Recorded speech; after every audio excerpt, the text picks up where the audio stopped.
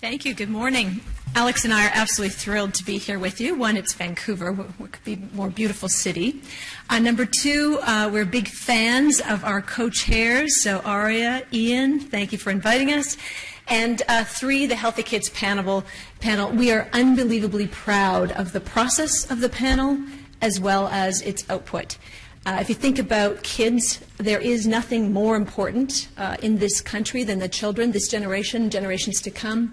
And we feel really proud of the set of recommendations that the Healthy Kids panel, an 18 person panel, uh, set forth for the uh, Minister of Health and Long Term Care in Ontario.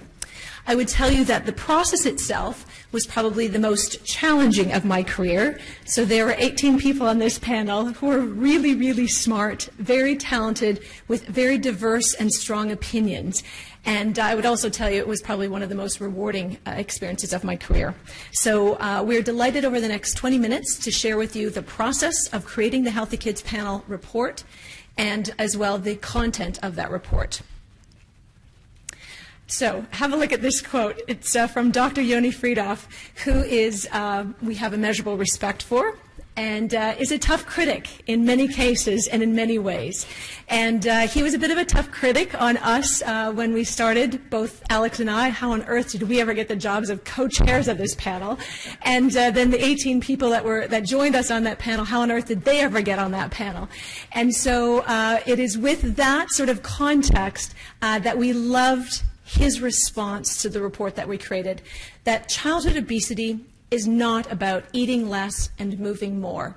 And uh, when he refers there to the 20, 23 sandbags, we created 23 recommendations under three prongs uh, in the strategy that we made recommendations about. And uh, truly, uh, I love the last part of this, that those sandbags may in fact help to uh, solve or save us from a flood as opposed to managing a flood by teaching kids how to swim. So uh, Alex has used your quote in, in uh, presentations in the past, and then we laughed when uh, Yoni was here on the panel with us. Why it matters. I'm preaching to the converted here. Uh, you know the stats better than Alex or I, but we wanted to give you some context for uh, the, the panel's report. So we know that in Ontario, that almost a third of the kids in Ontario are obese or overweight. We know that in Canada, childhood obesity has doubled, almost tripled in the last three decades. We know that 75% of obese children become obese parents. And in Ontario, where the panel was set, uh, $4.5 billion per year costs of childhood obesity. So this is an unsustainable situation from an economic perspective, certainly, but from a life uh, perspective, most certainly. Why a panel? So Minister Deb Matthews, again, Ontario Minister of Health and Long-Term Care, uh, decided to put together this panel. She wanted it to be very diverse. She wanted us to represent many, many different backgrounds. And uh, we, we came together in May of 2012. We worked together for almost eight months. And uh, as, you, as you can see up there, we had uh, sectors represented health, health promotion, public health, education, academics, media, community organizations. And our mandate was to reduce childhood obesity by 20% over five years. And uh, our very first meeting, 18 panel members sitting around the table, there was a massive debate and thinking, this is a ridiculous goal. This is not an audacious goal. This is a ridiculous goal. We should just pack up now and head home because there's no way we can set forth any kind of recommendations that would ever achieve that goal. Eventually, we came around to saying, okay, that's a political goal. It is set to be audacious, and what we believe is it's giving us, as a panel, permission to go big. That yes, our recommendations must be feasible, they must be cost effective, but we must think big in order to achieve, at least in the realm of such an audacious goal. Uh, the uh, panel was given just four uh, criteria to meet needed to be evidence-informed solutions, public accountability, cost-effectiveness and consideration of global provincial austerity measures, and visibility or viability for implementation. That was it. No constraints beyond that. And some of our panel members are actually here today. So Neil Seeman uh, was a panel member. Phyllis Tanaka is here, was one of our panel members. And I would also offer, uh, we had panel members from Hospital Sick Kids, Windsor Essex Community Health, we had a journalist, we had YMCA represented, we had U of T represented, we had the uh, Southwest Ontario Aboriginal Health Access Centre, uh, Bensimon Byrne, private sector, and Right to Play, uh, and then we also had government on the on the panel. So it really was a broad cross section. When I talked to you about challenging people with very strong opinions, I'm not kidding. So that panel, as soon as we got together, we said uh, we need to work off the brilliant work that has been done before that already exists. It made no sense to us to start from scratch. And so you can see the process that we went through. We went through more than 50 uh, reports and analyses that already exist in the country, but also internationally. Uh, we met with 19 thought leaders, and some of those thought leaders are here today. So Dr. Yoni Freedhoff was one of them, Dr. Arya Sharma, Dr. Mark Tremblay, Dr. Diane Finegood. So 19 thought leaders. Uh, they came and presented, and we were able to interact and have dialogue with them. Uh, we also met with sector associations in health, food, hospitality, so that covered the broad spectrum of public sector, private sector.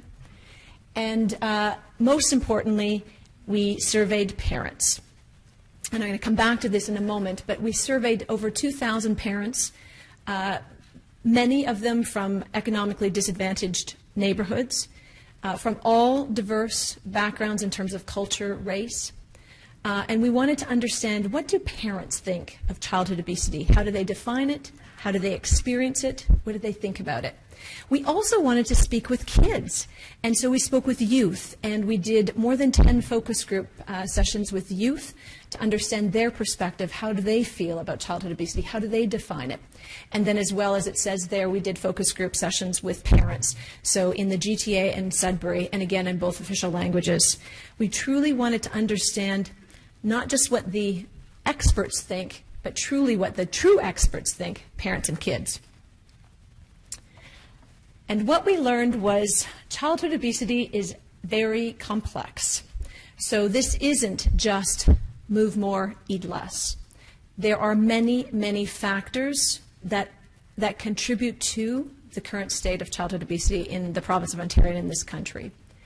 We also learned that there is absolutely no consensus about how to solve it. There's certainly consensus that this is a critical issue, this is an urgent issue, there is no consensus, at least that we experienced, our panel experienced, in terms of how to solve it. And some of the experts we met with, we would say, so what do you, what do you think we should do? And they're like, good luck with that. Um, so there's no consensus about what to do about it, but there's definitely consensus that this is a massive issue in our country. With like tobacco control, it's going to take a stacking of initiatives to resolve. And so it's not just do this, then this, then this, and magically it's done, and there are no magic bullets. This is a stacking of uh, recommendations and, and uh, perspectives that we need to take because this is a very complex issue. But unlike tobacco, our panel believes strongly it was really important to have all stakeholders at the table, including industry. So if we want to manage and, in fact, change the trajectory of childhood obesity in this country, in that province, we need to make sure that not-for-profit, public sector, and private sectors are all represented. And finally, I would tell you that um, from the very first meeting, we were clear that we wanted this to be taken through the lens of parents and children. This is not about finger wagging and telling parents what they need to do differently because they're doing a crummy job at raising their children. We wanted to understand what parents think, how they feel, and tell us what, what they need. And so the report, uh, and I left several of them out there on the table. They look like this. The report has worked extremely hard and diligently to make sure that we are saying, you know what, this is, parents know, first of all, uh, they love their children more than anything in the world, and they want their children to be happy and healthy. They actually know what it takes to make their children happy and healthy. They want to be responsible for their kids. They're not looking for anyone else to assume responsibility, accountability for their kids. What they do need, though, is help from all of us from those three sectors that I just mentioned to make the healthy choice, the easy choice, every time. And so Alex is going to come up and, and talk with you about the actual report and the comprehensive three-pronged strategy. And as you listen and hear the uh, content of that report, I, I hope that you'll understand that all of it is designed to be coming through the lens of parents and youth themselves, letting us know what they need in order to raise healthier kids.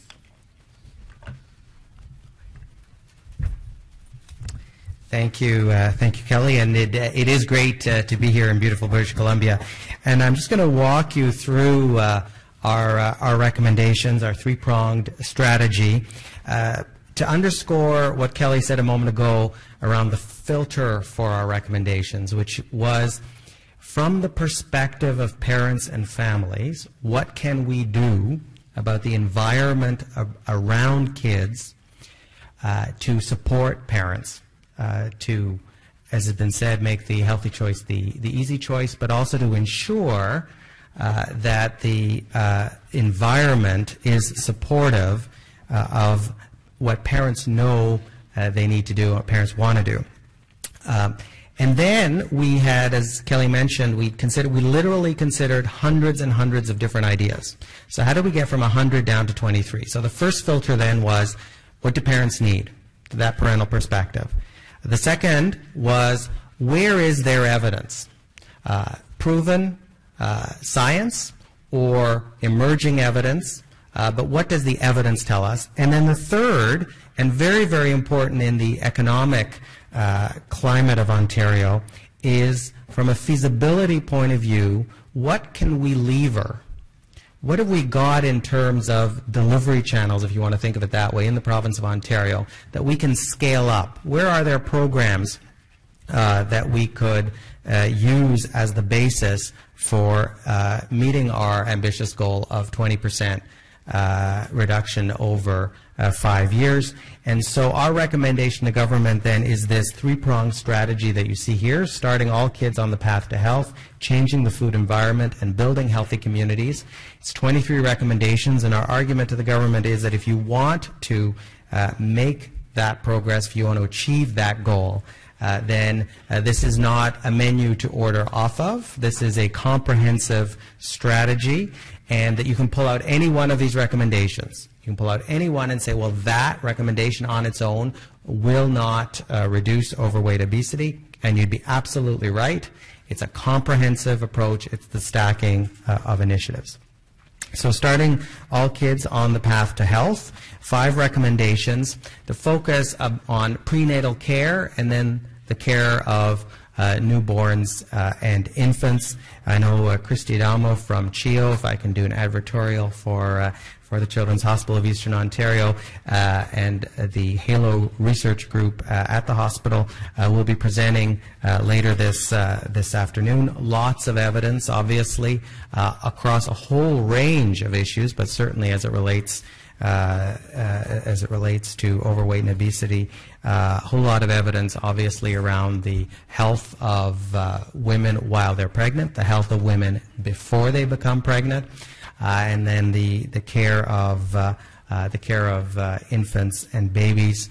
Um, uh, in terms of breastfeeding, but also in terms of the opportunity we have because of the many, many interactions between the health delivery system uh, and mothers and newborns uh, to really be supporting uh, moms uh, and families. And so five uh, recommendations in that area.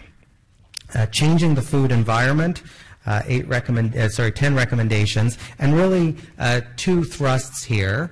Uh, a lot of media attention when the report uh, uh, came out to our recommendations around the ban on marketing that targets children under 12, banning the point of sale, promotion of high calorie, low nutrient foods in retail settings, and, that, and we would recommend starting with sugar sweetened beverages uh, and the mandatory um, menu labeling uh, in restaurants. And again, um, lots of debate about all of those, uh, but our view that it is in fact fairer to industry uh, to regulate and to have a level playing field, uh, and that uh, in fact, again, this is about changing the food environment. This is a this is about the environment uh, uh, when families go out, when families go shopping, uh, and frankly, and you know, I think of one mom.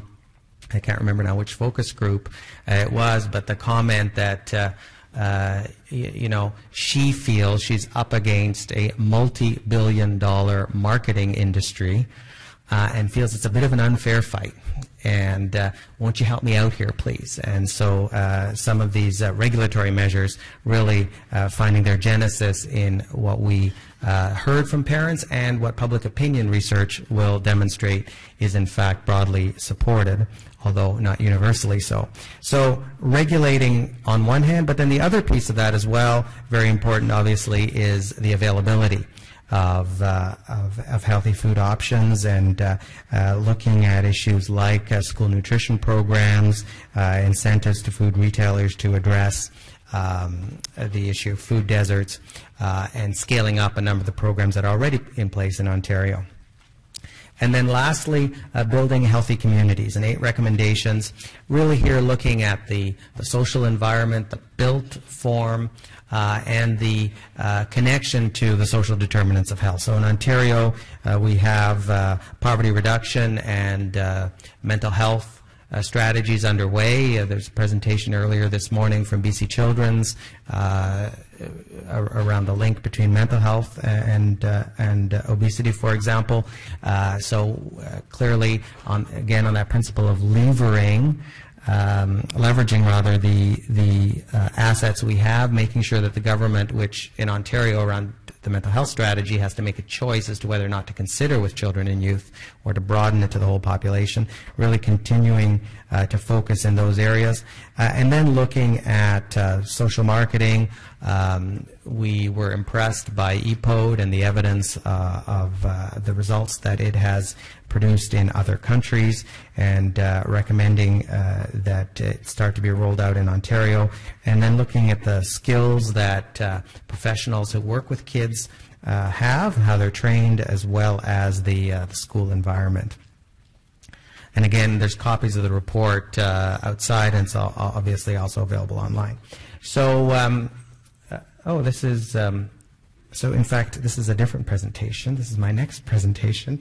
Um, so, if you're from public health, this is what I'll be telling the Ottawa Board of Health. Um, because in fact, public health, and so, uh, and I was, I'll just practice for Monday.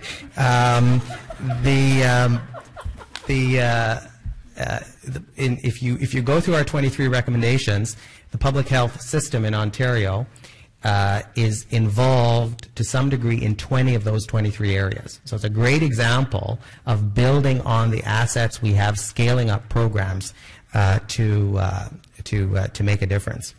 Uh, so uh, turning our three-pronged strategy into action. Uh, so we need leadership, and we're really pleased that uh, on the day we tabled our report, um, uh, the Minister of Health, who's now the Deputy Premier in Ontario, announced that she and the Minister of Children and Youth Services will co-chair a ministerial uh, a committee of, I think, six or seven ministers, key ministers, uh, to move the strategy forward. Uh, investing in child health, so that's repurposing current funding but also uh, making uh, new investments. And we recommended, uh, based on the fact that Ontario is below the average of per capita spending. Uh, well, actually, Ontario is almost always below the average in per capita spending in any domain of healthcare, but that includes uh, includes in this area, and that to increase uh, to um, uh, to the national average uh, would bring us to an $80 million new investment. And then finally, of course, um, because of the point that Kelly made earlier, uh, that there is a, a consensus around the need for action, but a lack of consensus around where to act and how to act. Uh, that we really do need to plan, do, study, adjust on a continual basis, and to do that, we need evidence, obviously. Um, I'll wrap up quickly. Uh, this from our transmittal letter to the minister, and really our call to action to you and our challenge to you, to everyone in this room. One of the things that happened in the course of our panel is that everybody, every single one of us, had to move off of our preconceptions uh, and learned new things and had to bend in terms of what we thought um, uh, the toolkit should include. And so you might imagine it's not just, as Kelly pointed out, the different interests. You might also imagine that a medical officer of health uh, versus somebody from an advertising agency versus an academic versus as somebody who works at Loblaws might all have different perspectives, not just on what's important, but how uh, evidence should be interpreted, and in fact, even what evidence is. And so, what we learned was we all need, all of us, whoever you are, need to be prepared if we're going to make meaningful process to move off uh, of our initial uh, preconceptions and be willing um, to, uh, to, to bend to figure out what the package of interventions can be that can make a difference. Uh, because the stakes are high, and the stakes are really high, uh, and uh, we need to always keep that in mind above all else. So I'll end there, and happy to answer questions if there are any.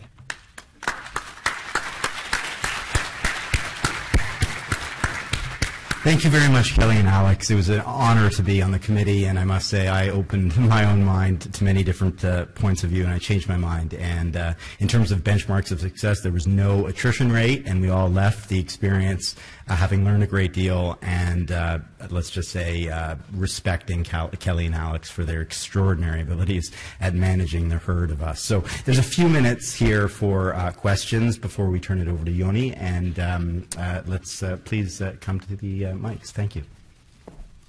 Hi, sorry. Um, during this morning session, we had a presentation from uh, US CDC, and they um, gave an example of how within CDC food policy had um, changed, um, and that then induced suppliers to and government contract uh, businesses to s- supply better foods, and um, it had an impact on the whole of economy. Um, when I'm at work, my kids are at school, um, and you had mentioned uh, the different groups of stakeholders that you had involved in your consultations, and I'm assuming that schools were involved in, in the sector discussions. And I'm, I'm just wondering um, to what extent uh, um, schools would be encouraged to um, uh, reduce their marketing to uh, children of unhealthy foods um, in terms of fundraising programs uh, like the pizza programs that, that are weekly. It's very difficult as a parent, really, to, to uh, uh, battle against that. And I know it's an important kind of way for schools to raise funds, um, presumably that aren't, aren't uh, available because of decreasing um, provincial funding and tax revenue. So I'm, I'm wondering how, how, um, how um, your recommendations might per- pertain to, to these types of issues. Thank you. It's a great question. I, I, just heard the other day when someone says, Thank you, that's a great question, it means that they're trying to think of their answer. Um, it is a great question. So, for sure, schools, teachers, principals, school boards were part of consultation process, and we had uh, the schools represented on our panel as well.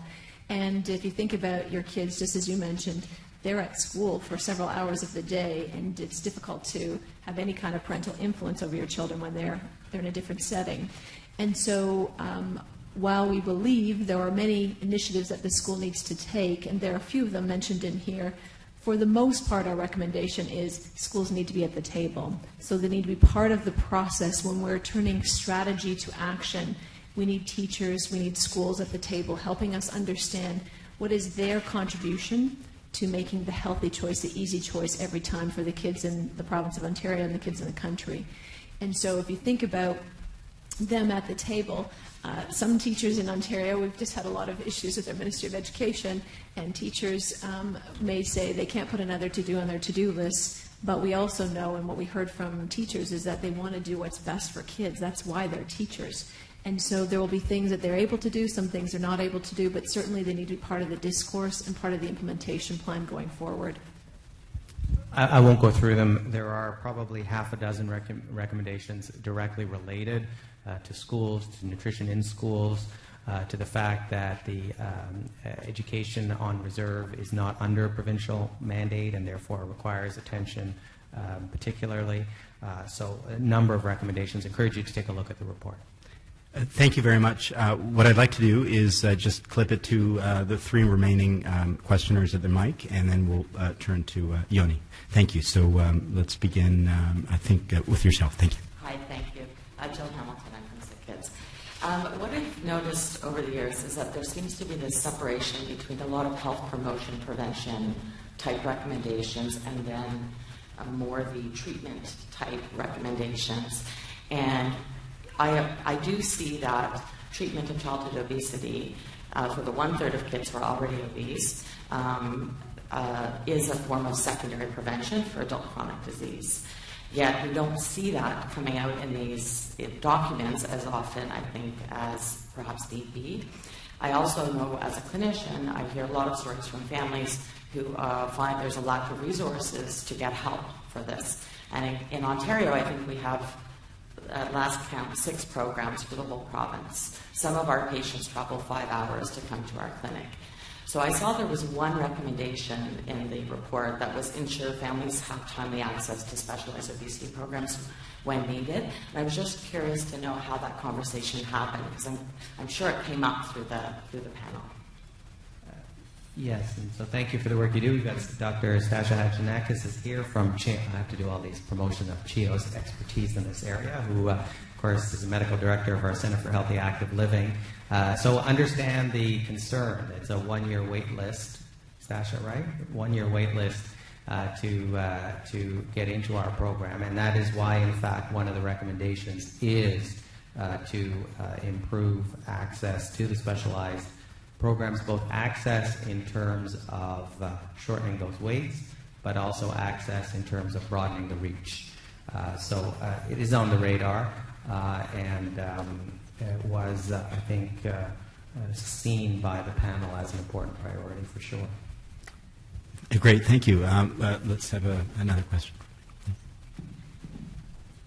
Hello, I'm Julie Rochford. I'm a community dietitian at, uh, on Manitoulin Island in Ontario. I work at an Aboriginal Health Access Center, and we service seven First Nations on the island.